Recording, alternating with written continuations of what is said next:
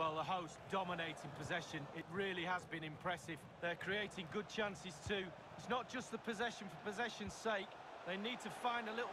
Surely the equaliser. Big chance. Magnificent stuff. And quite the comeback from two goals down.